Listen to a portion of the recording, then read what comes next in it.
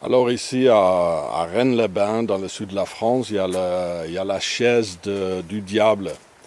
Et euh, c'est parce que Satan, Seth, il a parlé avec Isis, il lui a dit, mais quand tu tues ton, euh, ton mari Osiris, je vais te faire euh, la reine de tout le monde.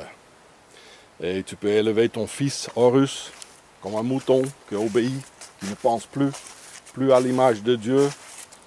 Et c'est ça donc euh, la relation entre le diable et Isis. Il appelle aussi cette chaise donc euh, la chaise de Isis.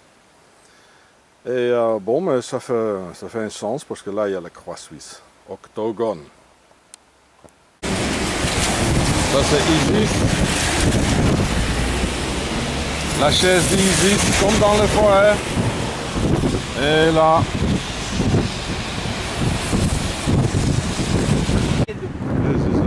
funny house here. Look at it. Real funny house, eh?